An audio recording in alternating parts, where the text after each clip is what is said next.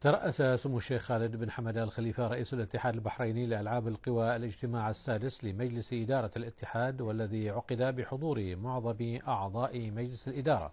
وفي بداية الاجتماع أكد سمو الشيخ خالد بن حمد آل خليفة أن دعم ومؤازرة ومتابعة حضرة صاحب الجلالة الملك المفدى حفظه الله ورعاه لألعاب القوى.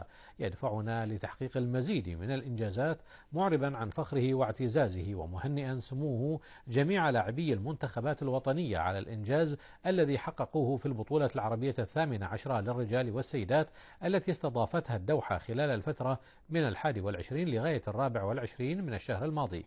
بعد أن حققوا المركز الثالث في المجموع العام إثر حصولهم حصولهم على 22 ميدالية بينها خمس ميداليات ذهبية وعشر ميداليات فضية وسبع ميداليات برونزية.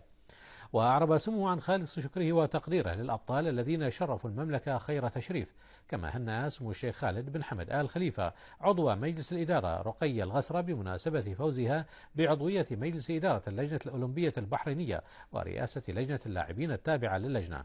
وأكد سمو الشيخ خالد بن حمد آل خليفة دعمه ومساندته لترشح أمين سر الاتحاد عبد الحكيم الشنو لعضوية مجلس إدارة اللجنة الأولمبية البحرينية في الانتخابات التي ستجري في الحادي عشر من يونيو الجاري.